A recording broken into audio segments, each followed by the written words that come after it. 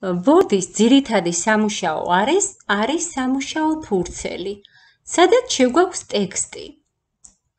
ვადგენთ ცხრილებს, სქემებს და სხვა. ფაილს სხვაგვარად დოკუმენტი ჰქვია. დოკუმენტის სახელი აისახება დოკუმენტის ფანჯრის სათაურის ზოლში. სულ დაბლა არის სტატუსის ზოლი. მდებარეობს ფანჯრის ქვედა ნაწილში.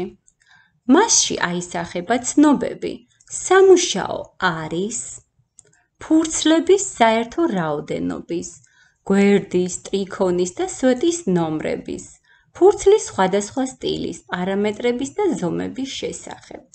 ფურცლისა და დოკუმენტის სხვა მახასიათებლები. პირველი რიცხვი ეს ნიშნავს მე რამდენი გვერდზე არის კურსორი, ანუ რომელი გვერდია აქტიური.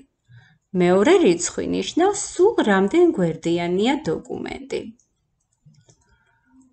ბოლოში ეს არის პროცენტების მაჩვენებელი, რბიას დაჭერით შეგვიძლია გავადიდოთ ან დავაპატარავთ. პლუსზე დაჭერით შეგვიძლია 10-ით გავადიდოთ ზომა მინუსზე დაჭერით შეიძლება 10-ით შევამციროთ ზომა. შეიძლება აი ამ 100%-იანს დავაჭიროთ და აქედან გამოვა ფანჯარა. ამის მიხედვით ჩვენ შეგვიძლია ჩავნიშნოთ რომელი პროცენტული ზომა გვინდა, მაგალითად 75. ვეთანხმებით. თუმცა შეიძლება ეს ჩანაწერი აქაც გავაკეთოთ. და შეიძლება ფურცლის პროცენტული ზომა. აქვე არის ღილაკები, რომელიც არის view menu-შიც. ეს არის წასაკითხად გამზადებული რეჟიმი.